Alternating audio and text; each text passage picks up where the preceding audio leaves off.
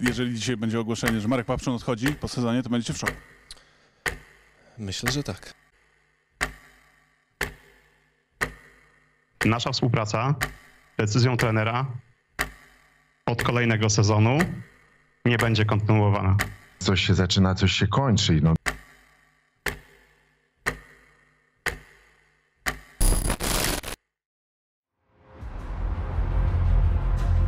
Aura tajemnicy, wszechobecne milczenie, nikt nie puszcza pary z ust, a naprawdę sporo osób o to pytaliśmy. Co zdarzy się dzisiaj na konferencji prasowej Rakowa Częstochowa, którą wymyślił sobie właściciel Michał Świerczewski? Tak naprawdę absolutnie nikt w Częstochowie i nikt w Polsce nie wie, co wydarzy się dzisiaj tym budynku. Czy to będzie informacja przełomowa, czy to będzie informacja nudna i nieważna? Prawdopodobnie przełomowa, może związana z Markiem Papszunem. Czy mamy jakieś tropy, czy mamy jakieś ślady? No o tym, co się wydarzy, wiedzą dwie osoby y, w Częstochowie, czyli Michał Świerczewski i Marek Papszun. E, oni chyba się dogadali na coś.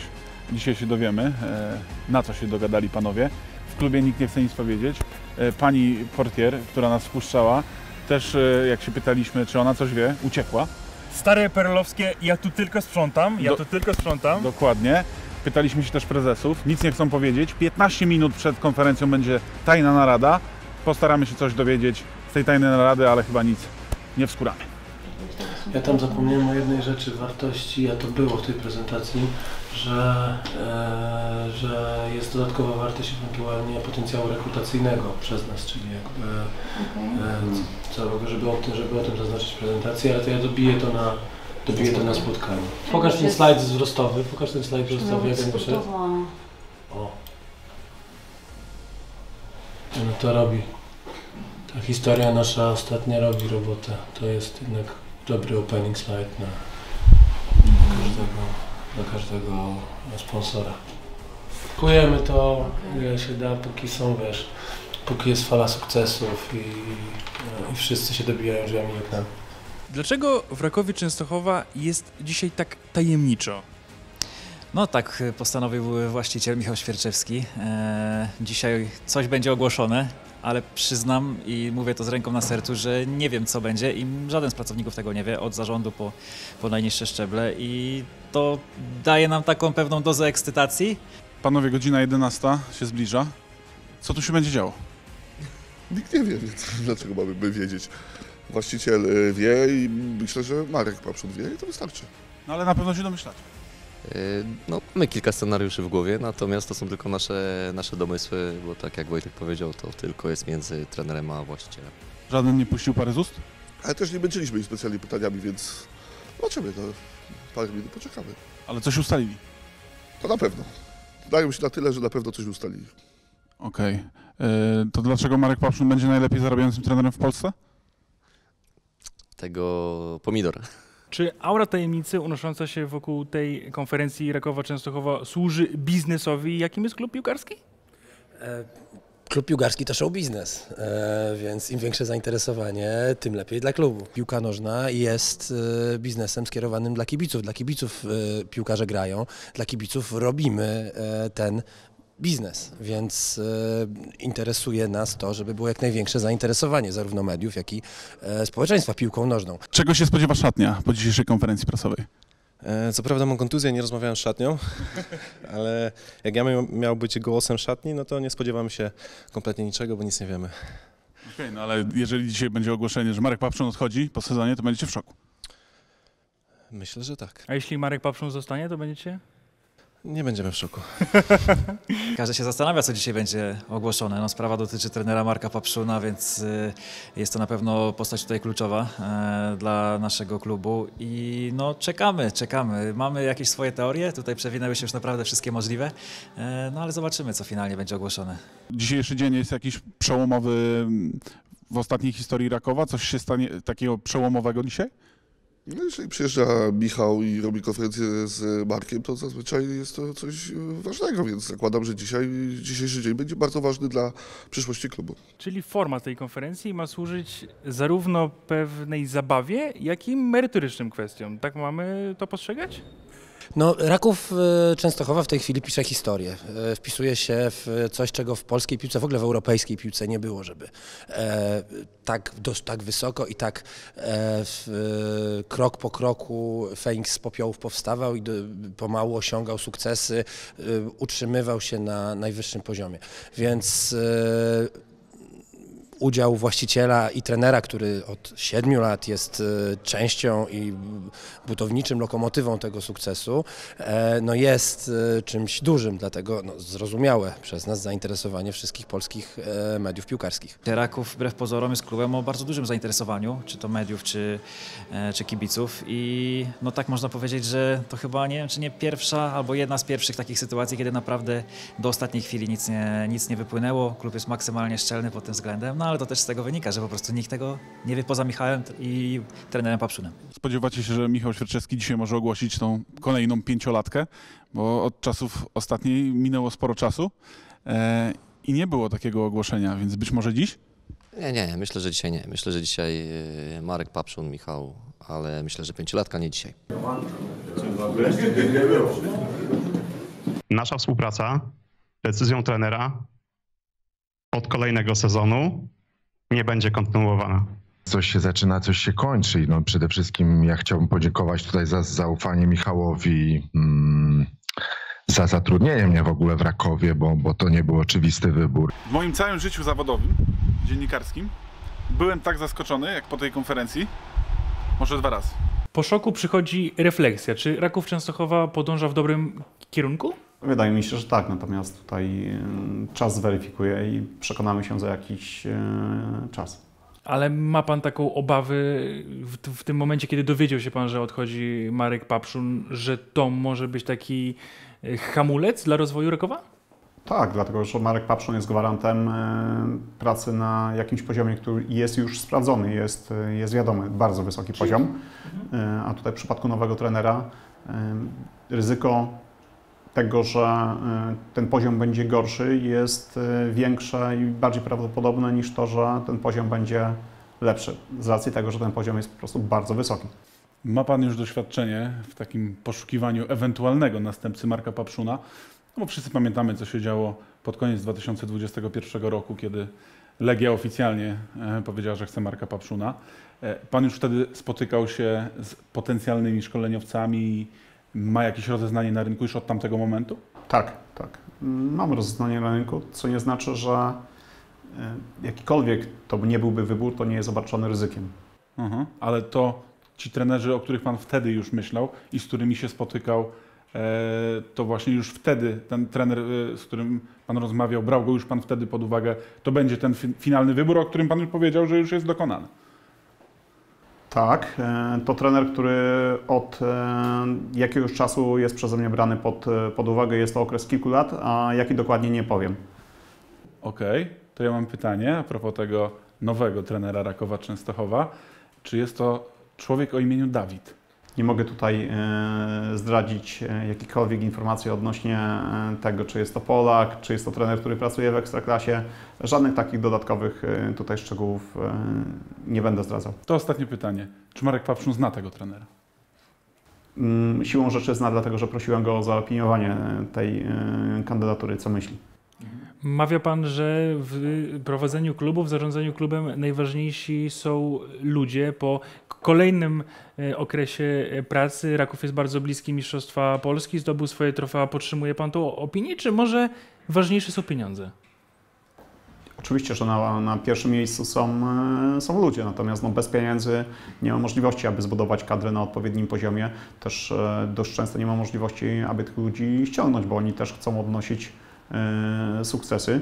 Na pierwszym miejscu są oczywiście ludzie, na drugim miejscu są pieniądze, które są potrzebne do realizacji jakiegoś mm, projektu. Także e, kolejność jest bardziej właśnie w tą stronę, bo jak widać w wielu klubach, mimo e, przeogromnych e, budżetów, tak jak na przykład Herta, e, nie zaprowadziło to wcale do odpowiedniego miejsca. Ludzie na pierwszym miejscu, na drugim miejscu odpowiednie zaplecze pozwalające na realizację jakiejś strategii. A irytuje pana to, że niekiedy trzeba w tą piłkę nożną w Częstochowie wkładać bardzo duże pieniądze i coraz większe i większe. Wraz z przedłużeniem kontraktów trzeba e, opłacać y, zawodników. Y, trener Marek Paszun też zarabiał bardzo dużo i czy to w ogóle pana denerwuje? To mnie denerwuje oczywiście, ale taki jest urok mniejszego miasta, które nie jest jakimś miastem który, bogatym, dodatkowo ze swoimi problemami infrastrukturalnymi e, i też e, w takim mieście, które przez e, dłuższy okres miało zapaść piłki nożnej, tak miało to miejsce właśnie w Częstochowie, także oczywiście irytują mnie takie sytuacje i zdecydowanie prościej byłoby w wielu innych miastach typu właśnie jak Kraków, jak Gdańsk, jak Warszawa czy też Poznań. No tutaj uważam, że gdybyśmy prowadzili e, czy ten klub e, w tak dużym mieście, bylibyśmy pewnie już e, zdecydowanie dalej. Dziedzictwo Marka Papszuna, jest coś takiego? Raków był innym klubem, kiedy on przychodził i zostawia zupełnie w innym miejscu? Tak, był klubem drewnianym, zostawiam murowany. Także tutaj na wielu poziomach pod kątem właśnie mm, zawodników, którzy są w szatni, to od tego należałoby rozpocząć, bo mieliśmy mm, wielu drewnianych zawodników, teraz e, jeszcze pewnie nie są w pełni, w pełni, w pełni takimi zawodnikami e, wszyscy, jakich byśmy docelowo oczekiwali. Niektórzy z nich e, mają swoje mankamenty, natomiast no, ta szatnia jest w tej chwili zbudowana w ten sposób, że e, zdecydowana, wię- zdecydowana większość albo wszyscy ci zawodnicy chcą e, podążać w tym samym e, kierunku. Oczywiście niektórzy mają większą determinację, inni mniejszą, e, ale też na poziomie organizacji samego klubu. Mm, Organizacji pracy również? Organizacji pracy, jeśli chodzi o pierwszą drużynę, ale cały klub. No, siłą rzeczy dzięki właśnie pierwszej drużynie mogliśmy e, klub rozwinąć e, na wielu obszarach. Czy y, kolejny trener otrzyma taką władzę, jaką posiadał Marek Papszun w Rakowie Częstochowa? Myślę, że nie, że nie będzie też oczekiwał aż tak dużej, aż tak dużej władzy.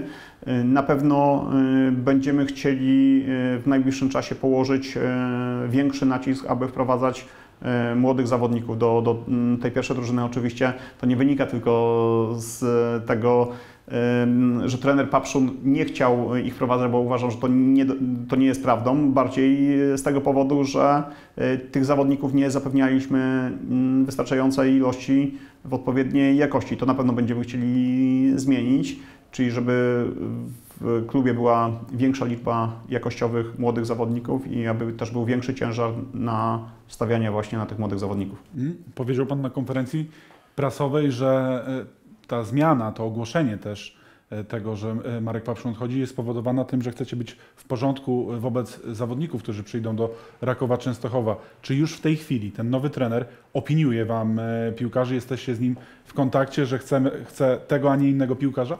Mm, Nie chciałbym odpowiadać na to pytanie. A pan będzie wciąż y, bardzo mocno in- ingerował w zadania dyrektora sportowego, czy zmieniła się trochę y, wraz z upływem czasu pana rola i jest pan bardziej właścicielem niż dyrektorem sportowym, czy tak dalej, tak dalej? Tak, na pewno moja rola się zmieniła, nie mam, ale to wynika z tego, że nie mam tak dużo czasu i dość często nie mam możliwości, aby nawet jakiegoś zawodnika obejrzeć, ale e, na ten moment, kiedy jeszcze cały proces scoutingu, doboru tych zawodników nie wygląda tak, jakbym tego oczekiwał, no to pewnie w jakimś tam stopniu będę, będę ingerował i też będę starał się przedstawić mój punkt widzenia.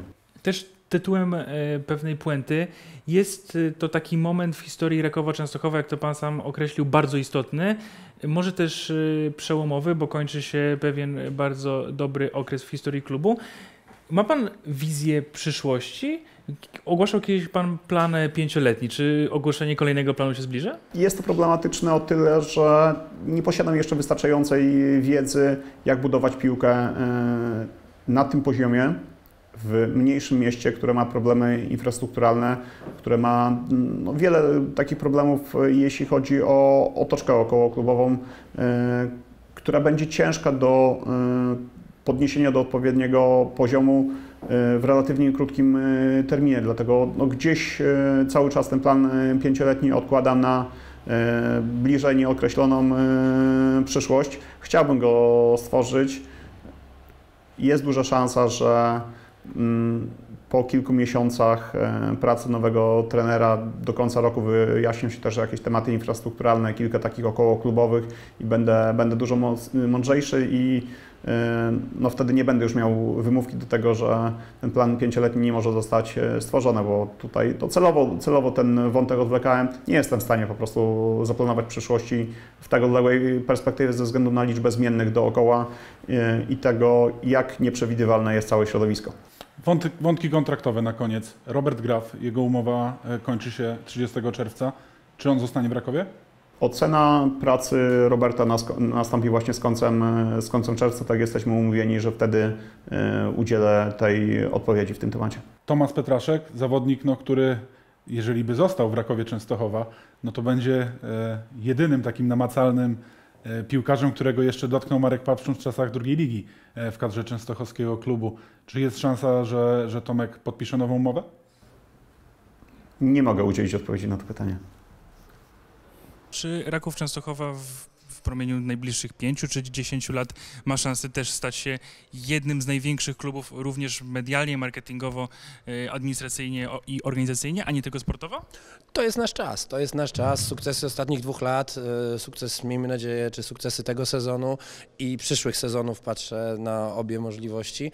E, To jest, to jest ten moment, żeby utrwalić Raków na piłkarskiej mapie Polski, czyli zadbać o infrastrukturę, zadbać o pewne, o trwałe, długofalowe źródła finansowania, nie tylko oparte na, e, na właścicielu e, i zadbać o, o ekipę, o kompetencje ekipy, która już tutaj zastałem, super ludzi e, i którą chcemy dalej rozwijać i budować, czyli zbudować wszystkie czynniki potrzebne do tego, żeby być trwałym i e, nazwijmy to może nie dużym w rozumieniu e, wielkościowo, ale dużym w rozumieniu z własnym stadionem, z porządnym klubem, z budynkiem. To się wszystko dzieje i naprawdę duże ruchy są wykonywane w tą stronę, e, żeby, żeby Raków utrwalić na piłkarskiej mapie Polski na lata.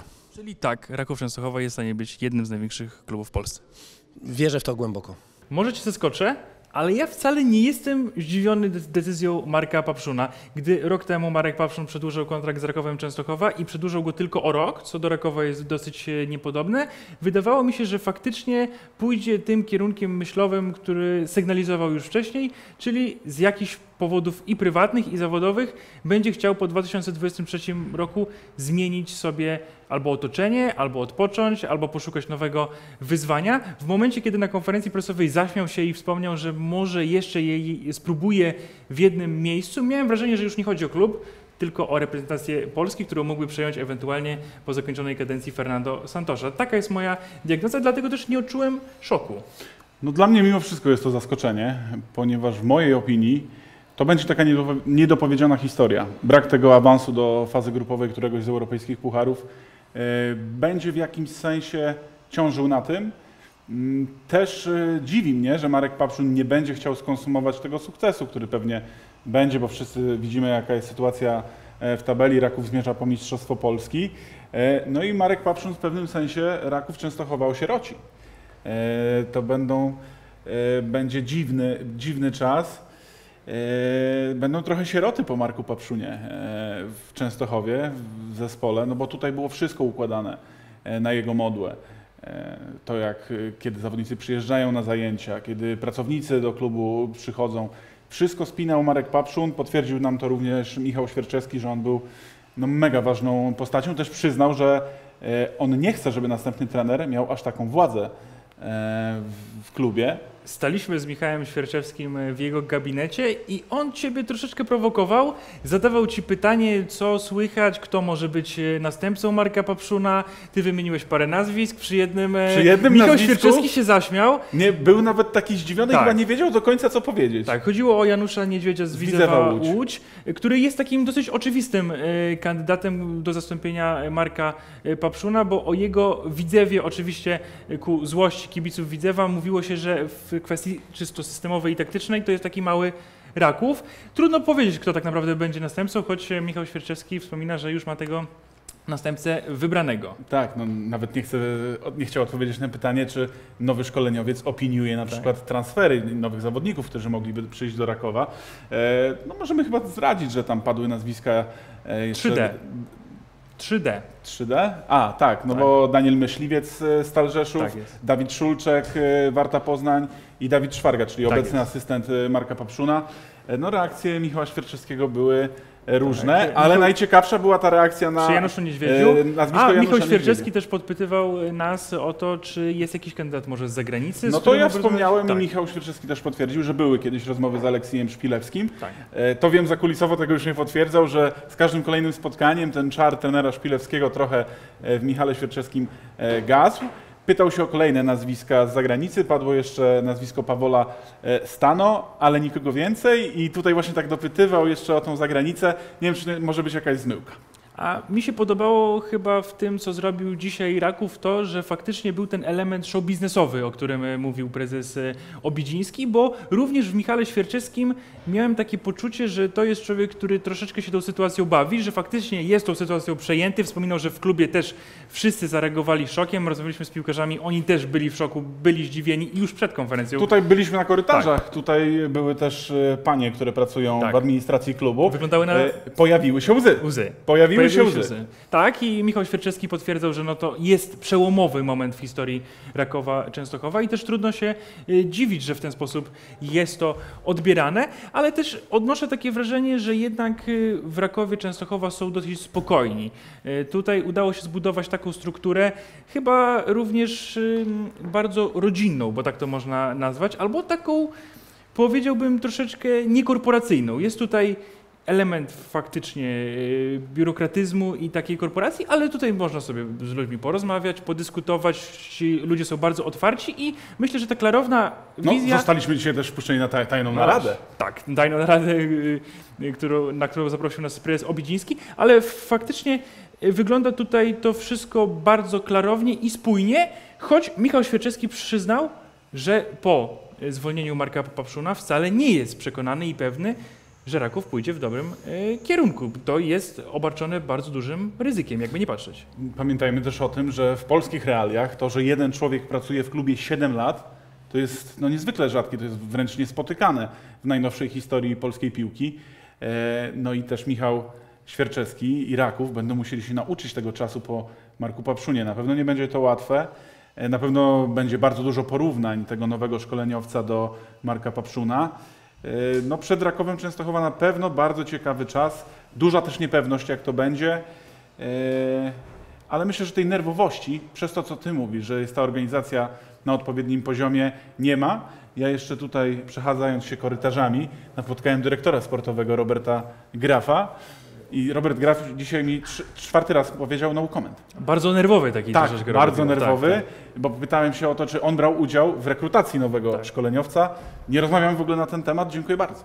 Tak, więc tutaj jeszcze pewnie dojdzie do pewnych przetasowań, ale niewątpliwie jedno jest pewne, że to jest niesamowicie ważny dzień w historii Rakowa Częstochowa, a we współczesnej historii niewykluczone, że jeden z najważniejszych, bo to jak Raków Częstochowa poradzi sobie z brakiem Marka Papszuna, postacią ikoniczną i pewnie legendarną dla historii tego klubu, no, no, chyba będzie takim symbolem tego, w którym kierunku podąży Raków. Czy w stronę sukcesu, czy w stronę braku umiejętności skonsumowania do dotychczasowego Pewne jest sukcesu. jedno.